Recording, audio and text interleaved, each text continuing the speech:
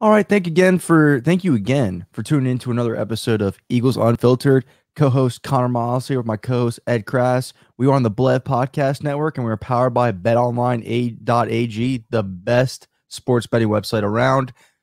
Ed, this is our first ever playoff podcast for Eagles Unfiltered for to talk about the Eagles. I mean, last year we is the first year we started this podcast. The Eagles went for 11 and 1. It was a very depressing season, but we still found a way to manage and get uh get through these pods. But now it's exciting. Now we actually have something to talk about. You know, the the Eagles are exciting. You know, the best part about this all, the cherry on top of this all, this whole entire season of how what what's going so great for the Eagles is they have three first round picks. 15th yeah. and 16th overall, Ed. You know, we, we kill Howie for he drafts in the 20s, but I mean, I'll take his top, you know, his top 18 picks. I'll take it. I know Derek Barnett wasn't all that, but he still made some great plays and in uh, clutch moments. Sure. I'll take this. You know, this is good stuff going on, Ed. This team yeah. has a bright future. It looks like they're on the right direction, and they're going into Tampa Bay this week to t- take on the defending Super Bowl champions, who I would argue are at their worst spot uh, roster wise that they've been all season. Yeah, Sunday at one. But yeah, this season, you're right, Conor. It's been a win-win for the Eagles. You know, this was supposed to be the transition year. You know, Jeffrey Lurie set the bar really low when he said that back in January. Whenever he fired Doug Pederson. he said it's transition year. We're going to try to get younger. Uh, nobody expected a playoff bid, and especially when they were at two and five, nobody expected a playoff bid. We all thought maybe, you know, on Black Monday, which we just had here uh, this week, that Nick Sirianni might be fired after a one and done year when they were sitting at two and five. So, you know, when you look at the fact that they're in the playoffs in a transition year, it looks like they have their head coach for their, however long, you know, he can continue to do well. And they have those three first round picks you talked about next year. I mean, it was a win, win, win season for the Eagles this year. The reason why these three first round picks are so important for this team is because – they've tasted this immediate success before with a young quarterback and a rookie head coach. Chip Kelly, Nick Foles. They, they had this success before, but the thing is, they didn't build upon it. It's impossible, Ed, to not build upon this with these three first round picks. And Jalen Hurts is, you know, a dual threat. He's not there as a passer yet. Obviously, we all know that. And he's you can't say he's the Eagles franchise quarterback yet, but you can definitely say he's the Eagles starter going forward. But yeah, you know, I thought we could say that back. You mentioned Chip Kelly's first year. I mean, Nick Foles was his quarterback, right? First year. Um, he started out with Nick, and then Foles came out of nowhere to replace him with injury, and 27 and two happened. And then we thought, you know, this this is it. This is the guy. Yeah, and then they moved on. They traded him for Sam Bradford. So, I mean, that's crazy. I, I don't think the Eagles will do that with Hurts. Um, but it's no, interesting. I, I struggle I do this a lot, and I, I you know, I, I it's funny because people do call me out on online for it, and I agree with them because this is what I, I, I do it. I compare everything to past, and you can't do it this time. Th- this is different. This is going to be different. I know Eagles fans, that's that's that's a tough hope to hang on to that this is going to be different, but I truly do feel it's going to be different because you have so much youth. You know, Chip Kelly believed and I don't believe Nick Sirianni is going to get this way. So this is going to be a huge thing. Chip Kelly believed his philosophy made the players. There is no way Nick Sirianni believes his philosophy made the players if he's changing his offense to fit his players' skill sets. Yeah. That's a huge benefit right there. But again, these three first round picks, you know, this team that needs youth, this defense, especially that needs youth, that needs to continue this transitioning that they're doing how can you not do it any better with having the 15th and 16th overall pick of this upcoming draft and then wherever else you finish with your own pick? Yeah. I mean, God, the opportunities are limitless with this team. And it's just so different. It's such a diff- different feeling than it was when 2013 with Chip Kelly and Nick Foles. Uh, I think, you know, I and again, you talked about Nick Sirianni's two and five start, Jalen Hurts when they were really just trying to make him a passer and put a they pretty what the Eagles were doing to start the year off to go two and five was putting a square in a circle peg. You know, it wasn't going to fit. What came together was to letting Jalen be Jalen and then letting Nick Sirianni coach to his players' strengths. That's the huge difference maker. That's what turned this all around. But, but the thing with Jalen Hurts is, and I, I I'm a very I I'm at fault for this. Because we are a reactionary fan base. We are a reactionary media people that cover the Eagles. We are everything's reactionary because that's the city Philadelphia brings on with their sports. We we we fall victim to it. But Jalen Hurts was always going to need time. If you consider where he was at Alabama to the player he was to Oklahoma to last year, when an offense that predicated on vertical concepts to now, I mean, you're asking this guy to be four different types of players, four different types of quarterbacks, excuse me. It's a lot to put on his plate when he's so raw in terms of quarterback play, anyways. He wasn't Carson Wentz coming out of North Dakota State. He wasn't Don McNabb coming out of Syracuse. This was a complete wild card in Jalen Hurts. Yeah. And the pieces are falling into place. He's showing you I can do what it takes to lead your team to the playoffs. You can win with me. He deserves more time. He deserves more patience. And that's what we're seeing here. Because again, I did mention he he's going to be a dual threat. He's not all there yet as the dual part. He's there in the mobility part. He needs to get there as a passer. But this whole thing needed time.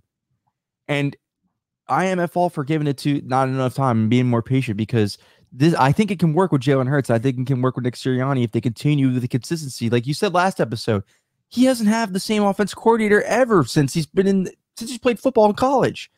Mm-hmm. It's finally time he's going to have that. Consistency is going to play a huge part in his development. And that's something that he's never had.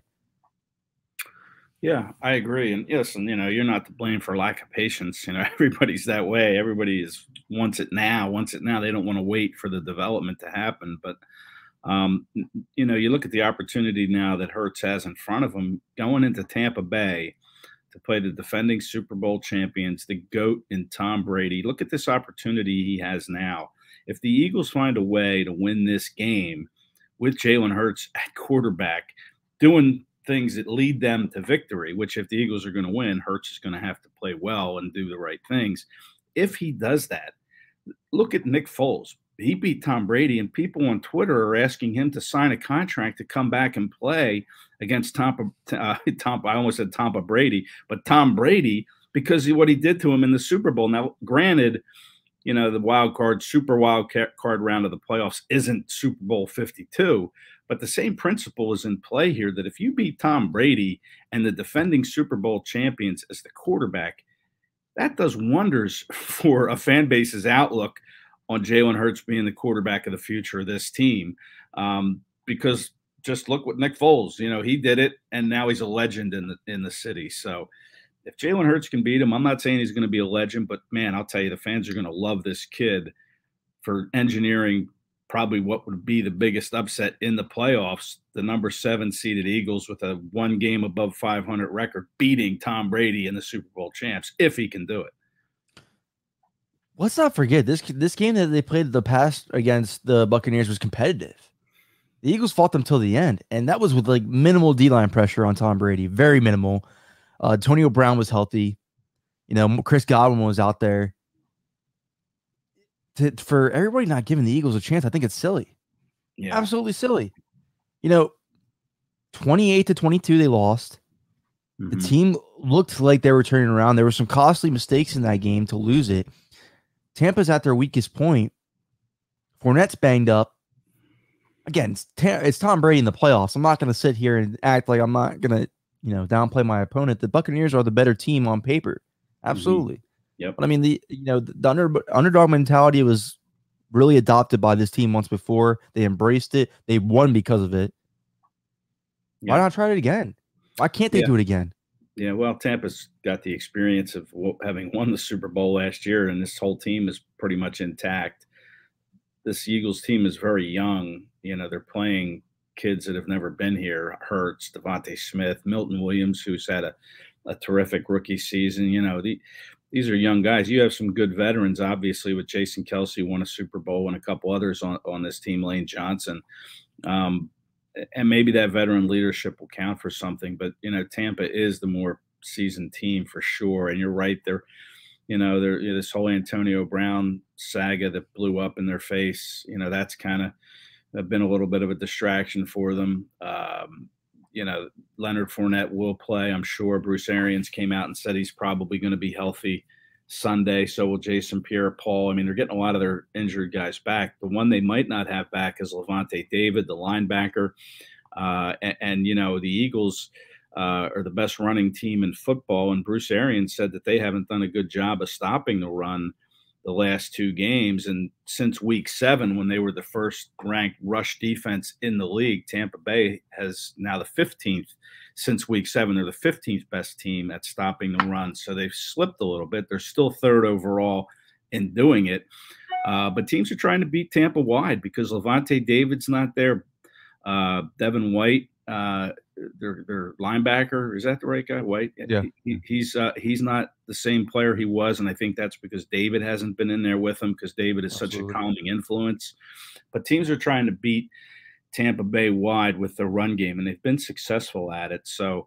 Uh, you know, unless the Bucks can stop them, the Eagles are going to pose problems with their ground game. It would be helpful if they can get Miles Sanders back. You know, Nick Sirianni said earlier in the week that you know he's still hopeful that Sanders will return. He broke his hand a couple weeks ago. This would be three weeks since he broke his hand, so um, we'll see if. But that would help because he's their best outside threat. He can get to the edge probably quicker than any of the of those other backs and that's where Tampa has been giving up those rushing yards is on the outside of that defense because yeah. the inside with William Gholston and and uh, Vita Vea and you know uh, yeah Vita Vea is a mon- the best so, nose tackle yeah, in the NFL. They're, they're brutal inside. They're hard to run against inside. So the Eagles are going to have to kind of use their zones and try to get to the edge and uh, pick up yards that way. And Hurts is very good at getting to the edge, especially with that RPO stuff he uses. He can fake the handoff and then scoot around the outside. So unless Tampa Bay buckles that up, the Eagles are going to, you know, make some headway, I think, in the ground game. And in that respect, if they can control the clock, they'll keep Brady on the bench and give him less opportunities to beat them. A little move that the Eagles made that's probably not going to, you know, I mean, it catches your, everybody's eyes because the kick return, uh, you want an upgrade there. But I love Jason Huntley being added to the active roster, uh, not just because of his kick return ability and the the needed juice that the Eagles need back there, but – uh, his elusiveness to the backfield is is key. You know, when the Eagles made that Super Bowl run, everybody forgets Kenjon Barner made an impact. Kenjon Barner brought some elusiveness to this team, and you know they leaned heavily on that rushing attack and the stable of running backs they've had. Jason Huntley can provide that kind of elusive spark. I'm not saying he's going to get more than one carry a game, but still, there's he had some juice in that game versus Dallas, enough to for the Eagles to think, hey, we need him for our playoff run. So I like mm. adding Jason Huntley back there. I do believe in Kenny Gainwell after the game. I'm not even just the game against Dallas. The kid has shown potential time in and time out, and he he was very promising at Memphis. Uh, Jordan Howard, I know, is banged up, but Boston Scott too. We, we we always under we always find a way to underrate Boston Scott. He's always the forgotten man in this backfield, but whenever he gets the ball in his hands, he is productive for this team. So, uh, yes, Miles Sanders, I, I believe he'll play. There's no way he's not going to play, but uh, again, you're nursing a broken hand. You got to think he's going to be on a snap count. I would like to see these other guys contribute in this rushing attack too. And you know, they they do have some guys that I think Buccaneers are going to sleep on, and it's going to pay off for the Eagles in the in, in, the ground game. Yeah, Huntley. You know, Sirianni said on Monday that Huntley probably won't play. He won't. I, I, don't think he'll be active on Sunday. Oh man, just rained uh, on my parade. I know. I'm sorry, but that's you know because he looked great in the in the kickoff return game. He averaged. It's a numbers game, though. It does make sense. I mean, it. it well, yeah, and he said and that's what he said. He's like, you know, you can't have too many running backs active because then that affects other parts of your roster. So, you know, yes, they added him to the uh, 53 man roster when they put uh, three players on IR on Monday. Uh, Brett Toth, Tyree Jackson and JJ Arcega Whiteside. So they have three openings and they filled one with Huntley. But I think that's them just acknowledging that, yeah, he played a good game and he deserves to be on our roster. Uh, you know, he has a, a, a, future with us going forward and we don't want anybody to poach him and snap him up. So they added him to the roster and that makes sense. But again, it's going to be a numbers game. If Miles Sanders can play, then there's no way Huntley plays. Now, if Sanders doesn't play, then, you know, maybe they decide to sit Gainwell. I don't, I don't see that happening, but it, who knows? Maybe. I mean, it was early in early in the week when Nick said that, um, but they haven't brought up Richard Rodgers yet. You know, Tyree Jackson. Unfortunately for Tyree Jackson, another injury. He had the back, the fracture in his back.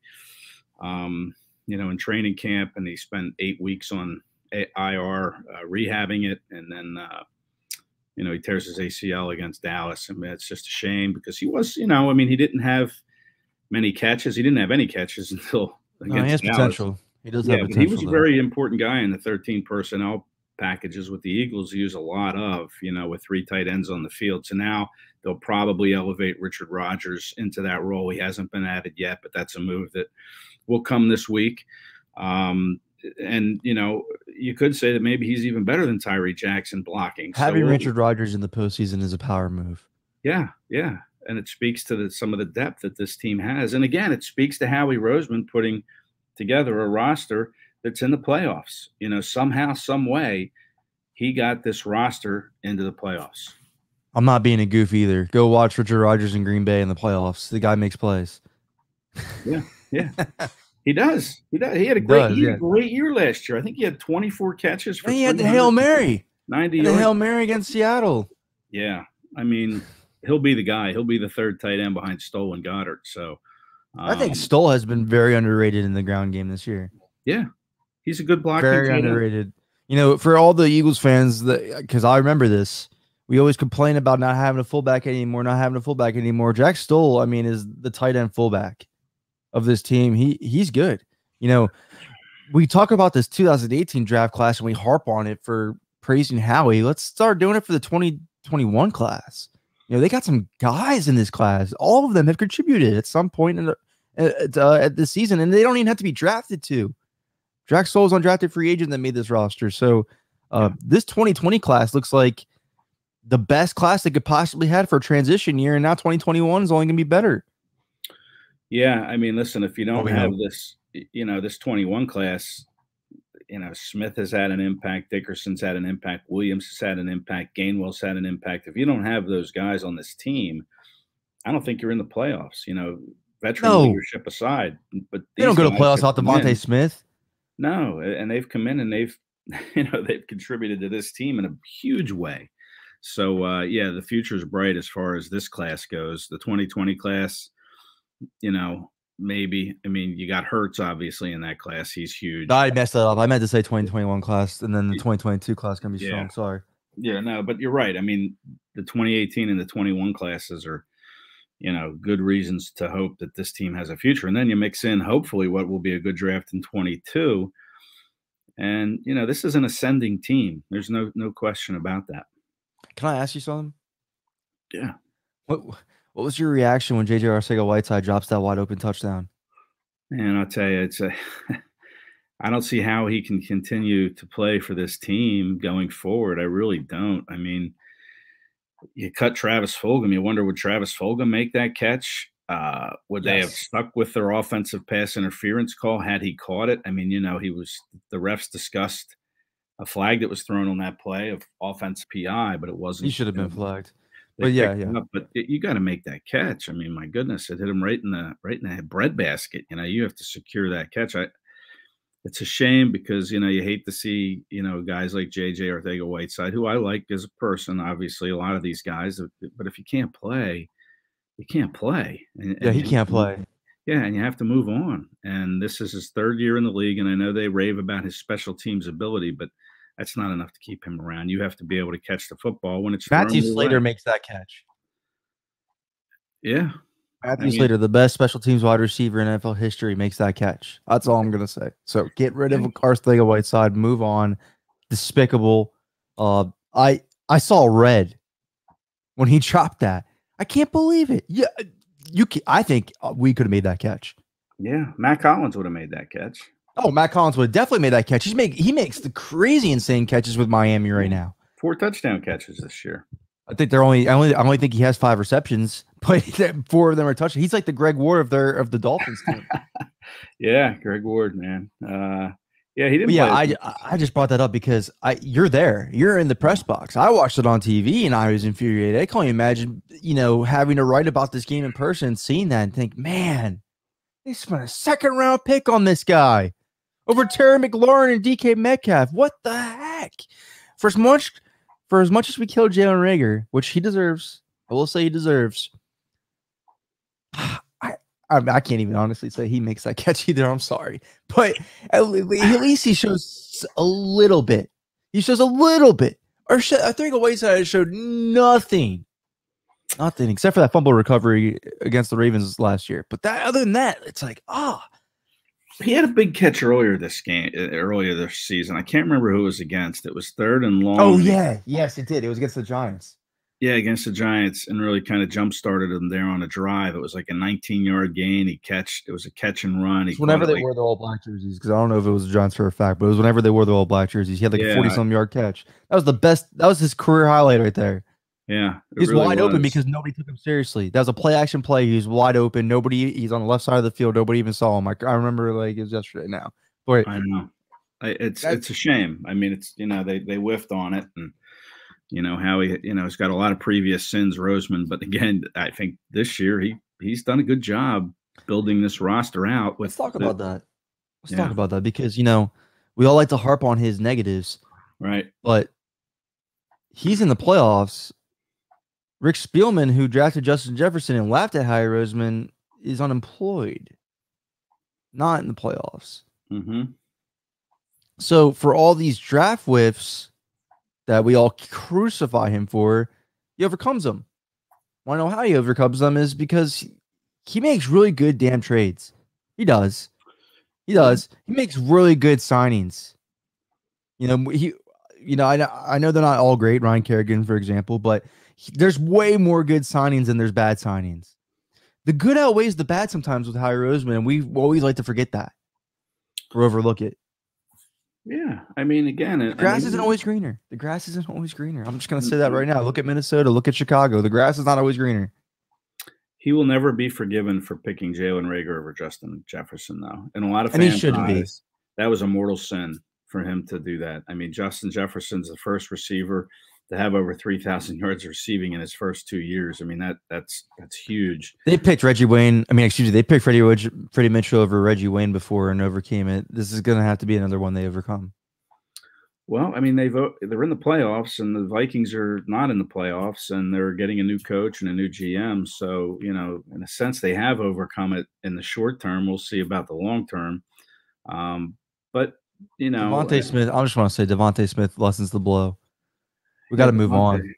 We got to move on. Really good, and you know we'll see who they get as a, a number two next year. And you know what, Quez Watkins, he had a pretty nice year. I mean, he had 650 he yards receiving. Has a role. Has a role um, for sure. He has a role. I'm not sure he's a number two, but listen, I think he's offense, their slot.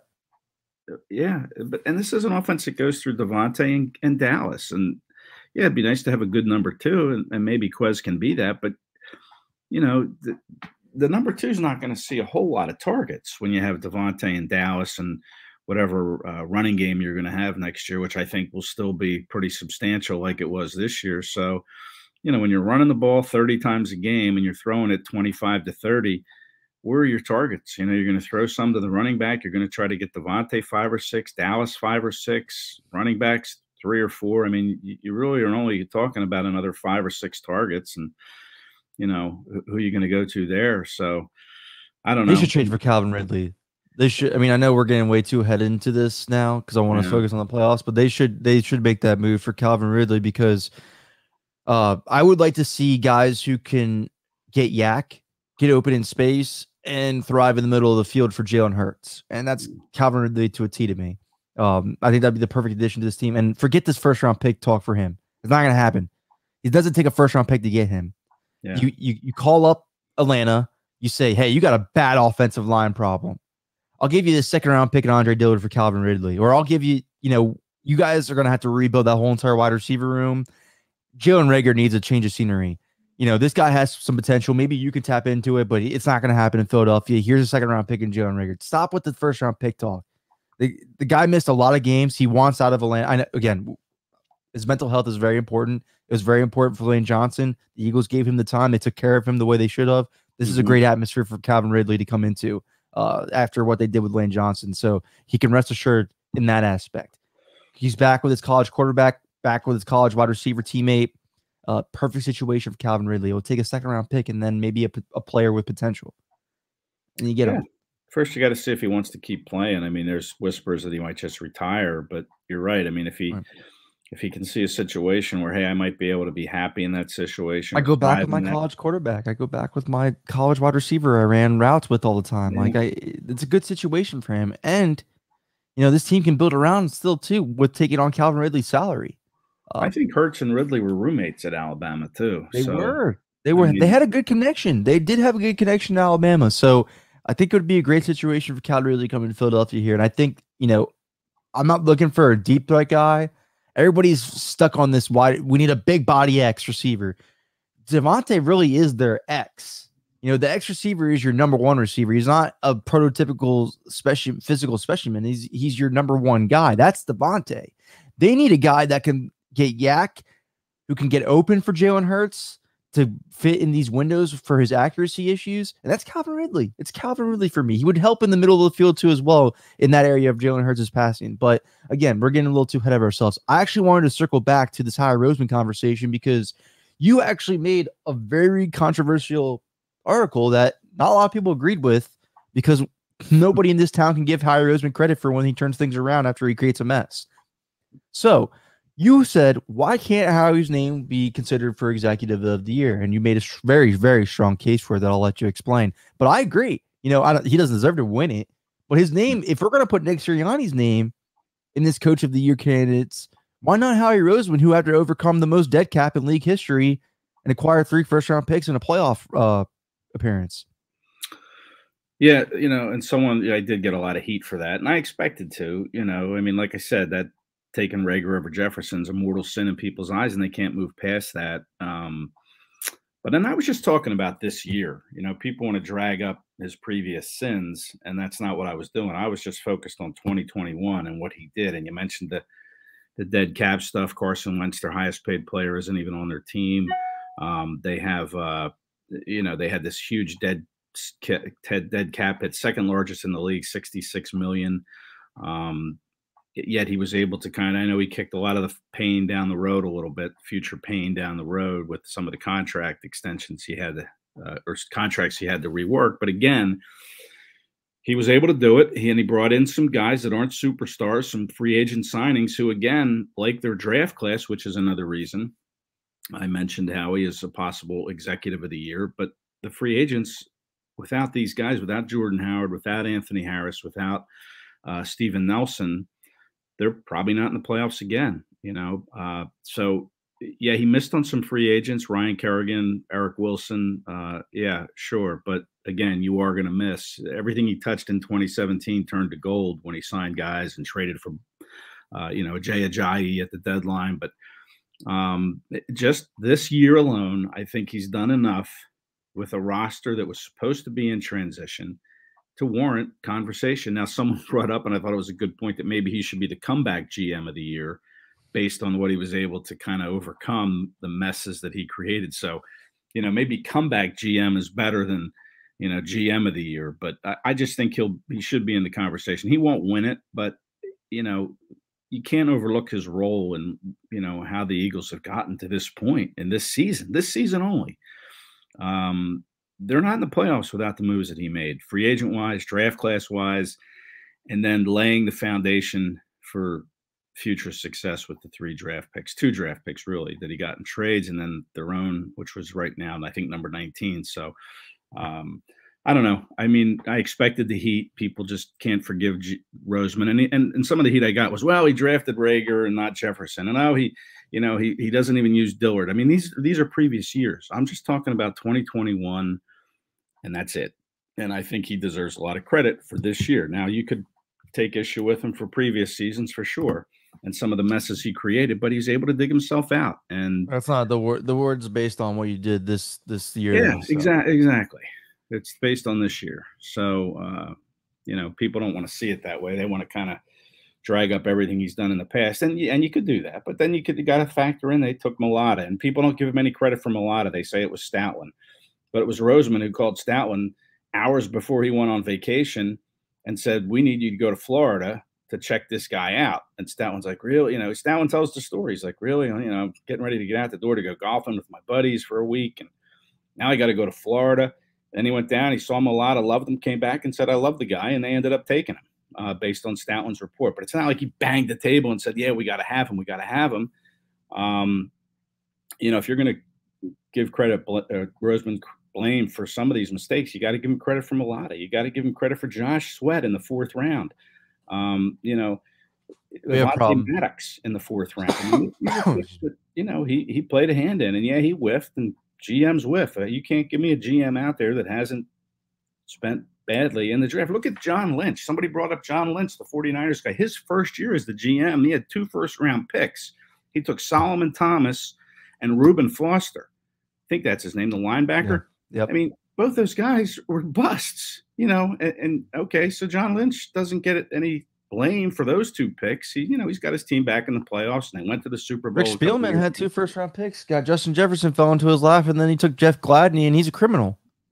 Yeah, I mean, That got league. GMs. Yeah, I mean, listen, it's not an easy job, and uh, you know, and and Roseman, even if you want to revisit all his past mistakes, you have to throw some of the successes in there too. Playoffs for the last five years, Super Bowl four years ago. I mean, you know, that to me Well, speaks volumes. What bothers me about the draft? It's a crapshoot, people. Situations matter. Coaching matters. What you, what, what you get what you get drafted into matters. That's why when you know free agents leave, that or look when Malcolm Jenkins left the Saints, he became a completely different player on the Eagles. He was a good player for the Saints, but he became elite on the Eagles. Yeah, That's what I'm talking about. The draft is a crapshoot. You can get a guy who has talent and who never lives up to it with the Eagles, and then he goes on. eh, I'm not even just saying the Eagles; it's just the NFL in general. Goes on to a different team that fits him better, that coaches to his skill set better, and he becomes a, eh, the player that everybody thought he was in the draft. Yeah. you know, it's it, it's a crapshoot. There's so much that goes into the draft that to to give to fault some guy for all his misses, like you said, you have to give credit for stuff he does hit on because it's such a crapshoot. Yeah. Uh, and it- that's what bothers me the most when we talk about this stuff is because, Yeah. you know, I, I'm not a Howie apologist by any means. Uh, I thought after last season, if you're going to fire the head coach, you got to fire the GM too. right. But it, he turned this whole thing around. He did, and not only that, he's going to look really good after this Carson Wentz trade.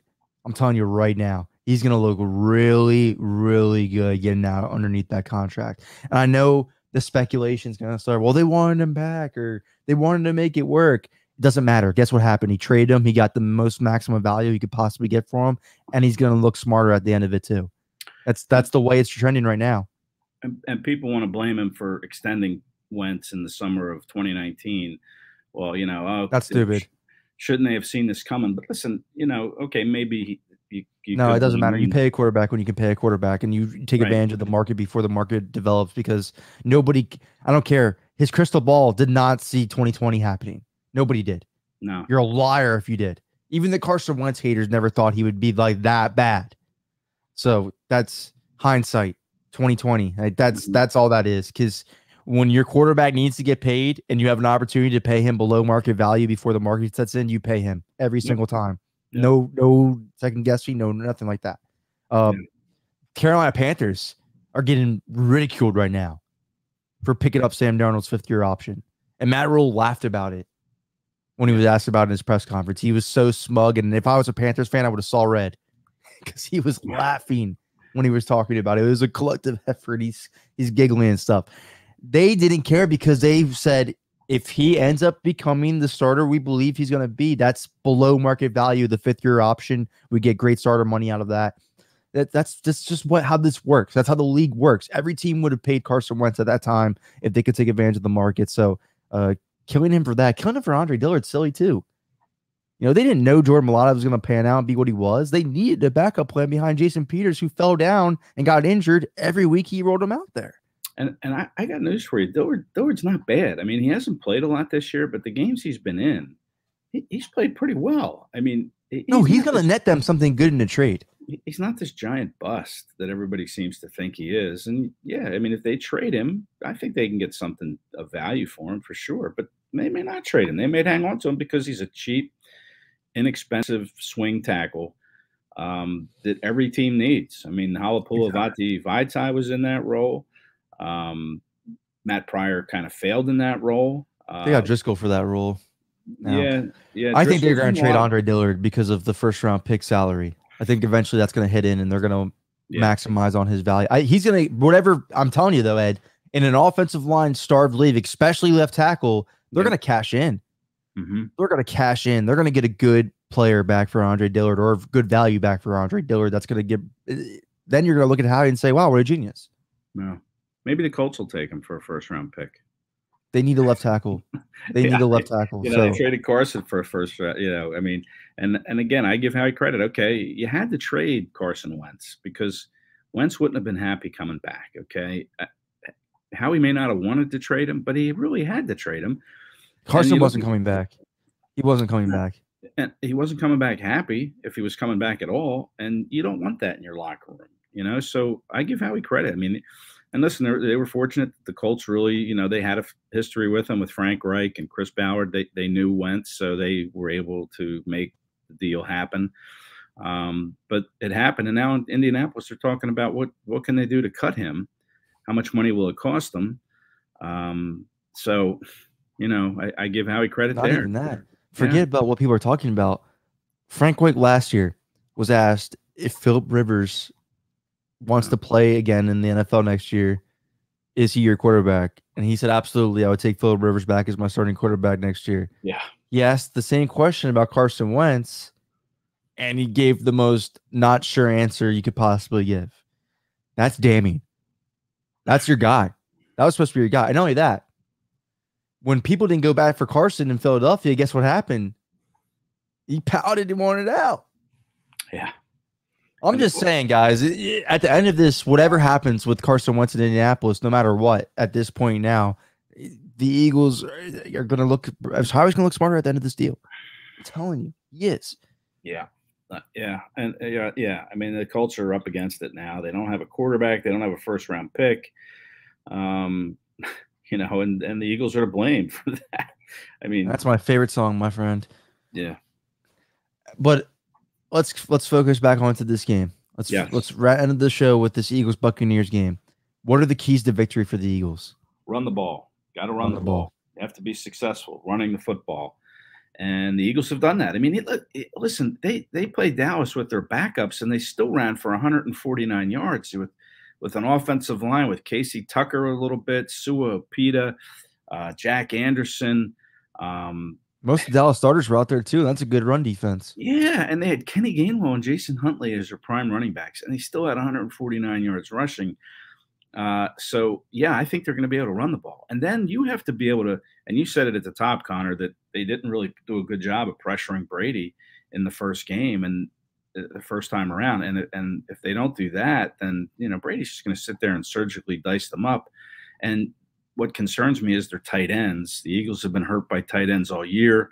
I'm not sure Cameron Brate will play. He's got a hamstring issue. I think he suffered in the season finale. He, he'll probably play, but um, Gronkowski is just Yeah, Gronk is phenomenal. Gronk. Yeah. I mean that that connection scares me because the Eagles can't cover tight ends. They've shown the inability all year to do that.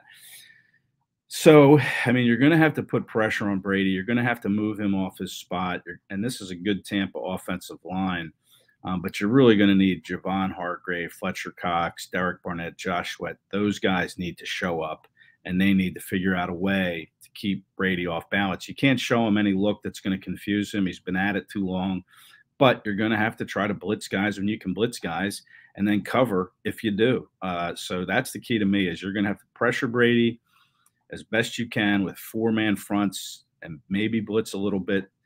Um, and then you have to run the football. Uh, there's no doubt you have to run the football. And then Jalen Hurts is a big key to the victory too. Is how he operates in a pressure filled situation in his first playoff start, the youngest quarterback in Eagles history to start a playoff game. How's he going to do? You know, how's he going to bear up in a huge situation here? So it's really going to be how Jalen Hurts plays if they can run the ball and if they can somehow find a way to, you know, to put pressure on Brady to make him feel a little bit uncomfortable. We saw them do it in the Super Bowl a little bit, even though he threw for over 500 yards. You got to have somebody step up and make a play on Brady. That's, you know, who's it going to be? Is it going to be Barnett, Sweat, somebody else? Um, that that's a key. So the Eagles got lucky and Gronk didn't play this season against Right. That's Eagles, right. But, but in the Super Bowl, nine 116, two touchdowns. Yeah. It's It- that's a big concern. They do struggle with tight ends. It- it- It's it's been going on for a little bit. So this Yeah.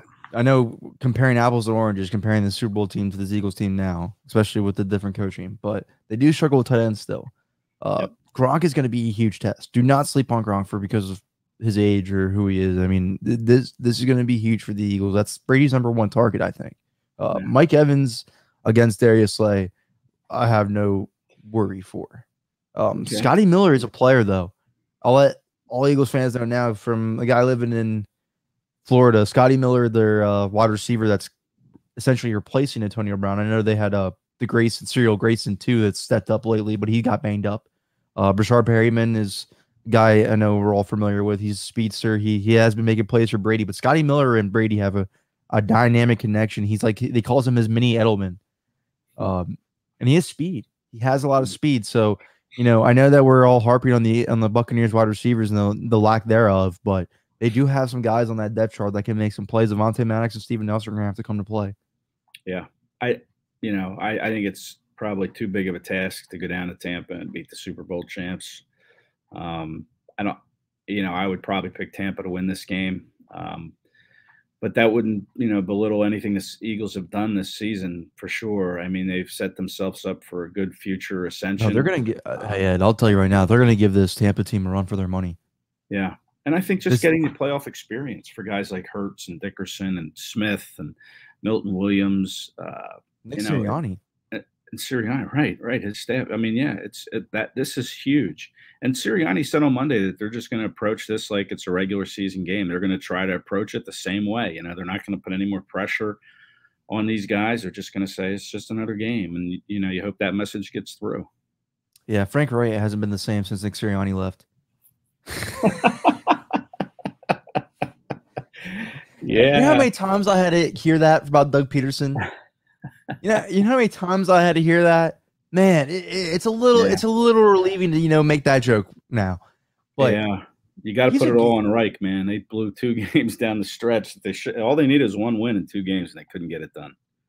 for all the hype Sean McVay's gotten for his what his first season with the Los Angeles Rams or what the St. Louis Rams at the time, I guess they were. But Nick Sirianni deserves the same. You know, I know they started two five, not a very exciting team, and they run the ball. They're not something that's going to pass all over you. That doesn't excite the general NFL audience. hmm But very creative coach, a guy who turned his whole entire philosophy around, mind you, in year one of his head coaching job Yeah, and flipped it on a dime and went seven and two. I'm just saying, this guy's for real. And if we're gonna hype up Sean McVay as this young up and coming offensive coach at the time that we did, I believe Nick Sirianni should be looked at in the same light. Why isn't the media not giving him the, the hype that he deserves? Why is he not blossoming like a flower in their eyes? yeah. I mean, It's it's a little odd to me though, because even when you make these co- coach of the year graphics, he's nowhere to be found. You know, it took Mike Florio, a person who I- I think is despicable, to mention Nick Sirianni as a coach of the year candidate. He's the only one in media who has. yeah. It- it's national media. I'm speaking. I'm not talking about our local coverage. I'm talking about national recognition. Mhm. Like Sean McVay has done nothing in the NFL besides lose a Super Bowl. You know, score three points. for all the hype he gets. Yeah, for all the hype he gets, Wade Phillips deserves way more hype for that Super Bowl. But for all the hypes he gets, he has nothing to really show for it. Why should we not hype up guys who are like Nick Sirianni? yeah. You know, who have all the cards stacked against them and come out and do everything he's doing. You know, I just want to see that him mentioned among these up and coming hot head coaches because he is. You know, everybody ranked him as the worst hire. Go back and eat your words. Go back and give him his flowers. He deserves it. I agree, I just, man. I need, I, just need more respect put on Nick Sirianni's name. That's all I want. Well, if they beat the Bucks, they'll get the respect. Do you think they can do it? Do you think they can go down to Tampa and get Yes. this game? Yes, I do. You know, Tom Brady is amazing, best quarterback of all time. Yep. You can beat him in the wild card. It's happened. It has happened. You're catching the Buccaneers at their weakest point, and a fact that you made known in this show has not been harped on enough. Lavonte David is the heart and soul of that defense. If he is out, Yeah. that is a very, very big loss. I would say it would probably, if I would had to give a ranking of the most important players on that defense, Lavonte David would be number one. Uh, Vita Vea would be Vita Vea would be number two. That's how important those guys are to that defense. hmm not having Lavonte Davis really going to hurt them, especially with that secondary being banged up as it is, as uh, has has been all entire season long. I know it's not like the Eagles are a passing team, but I mean, this is the game where you know you've seen this progress from Hurts.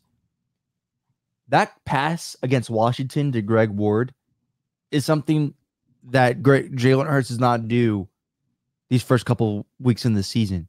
He mm-hmm. he's come a long way as a passer.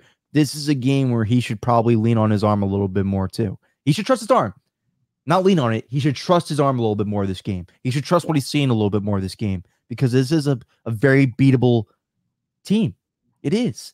You know, they are Super Bowl winning champs. They have Tom Brady. Bruce Arians is a really great head coach, but this team, as it is right now, is very beatable with their injuries, with everything they're ha- and the Eagles are hot. They are. I know they rested their starters. I know they started out slow in the first half, but they are a very hot team. And catching a hot team at the right time always pans out bad for the team that's banged up. But we'll see. I, I am not saying the Eagles are a win, but I I have way more hope than you do. I know. I just I just don't see how they can stop Brady. I mean, that would be crazy.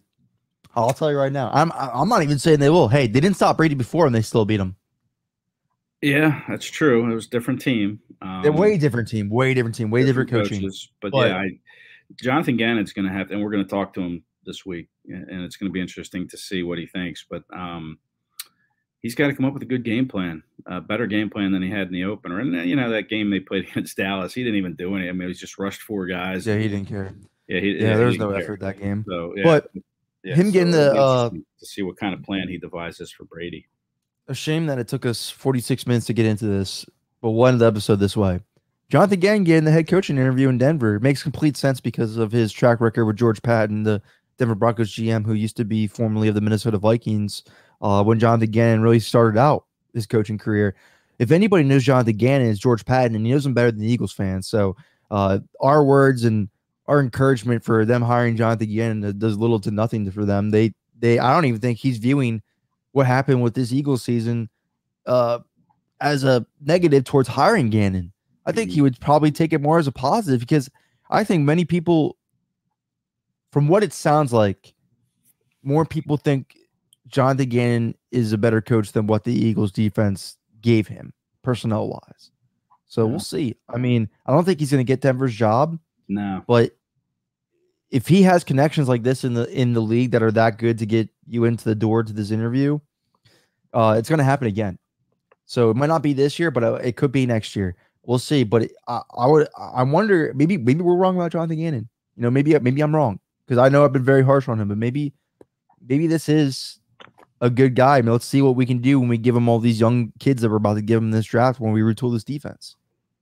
Yeah, I think he needs to get better personnel for sure. But you know, it's interesting to speculate if he takes the job. I mean, then you have the DC opening, and I know everybody loves Mike Zimmer, and looks like Brian Flores will probably end up as a head coach somewhere, but he's out there. But then you have the in-house guy, Dennard Wilson, who, you know, Darius Slay really went to bat for. You know, their DB coach saying, you know, this guy should be a defensive coordinator. So you know, if Gannon does leave, and I too don't think he's going to leave, I think that you know they're casting such a wide net in Denver. I think he's one of ten names that have been mentioned that are going to be interviewed. Oh, 15. Yeah, it's insane. Yeah, but Dennard Wilson, you know, people don't want to. Everybody wants the hot coordinator, the you know the hot former head coaches, but you know Dennard Wilson, I think would probably make a whole lot of sense to be elevated into that spot if Gannon were to leave. Yeah, we always want the big Fangio's of the world, but I don't. I don't think. Uh, yeah, yeah. I don't think he's coming to Philly anytime soon. No, I don't either. I really think they would probably stay in house with Dennard Wilson. I mean, and that would make great sense. You know, a, a, a hot. I think he's Dennard Wilson's a good coach. Dennard yeah, Wilson's he's a real good coach. coach. Yeah, and uh, I think you give him an opportunity. You know, they gave Gannon an opportunity, but uh, listen, I don't think Gannon's going to go anywhere. I think he'll be back next year. Um, maybe Dennard Wilson goes somewhere to be at DC. We'll see. All right. Well, that's going to end it for us real quick. I I I'm not, I don't want to say who's going to win or lose. Playoff games are unpredictable, but I do believe in the Eagles' chances. I do believe. And I think it's going to be a really good game. It's going to come down to the wire. Uh, those Buccaneers Eagles playoff matchups from the early 2000s uh, were tough, tough football games. I'm hoping that this can become that again, uh, but more on the Eagles side this time, obviously.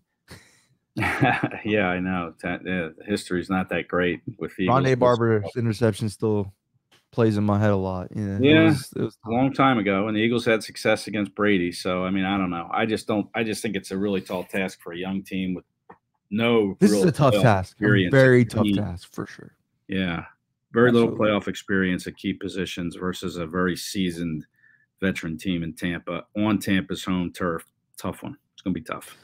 This isn't the end of the Eagles, though. That's all I'll tell you right now. This is No. only the beginning. Only the beginning for them, regardless of what outcome of this game. It's it, definitely something to put put your hat on, uh, and keep building going forward. All right, guys, that'll do it for us. We'll see you next week. Thank you again for tuning in. Go Birds.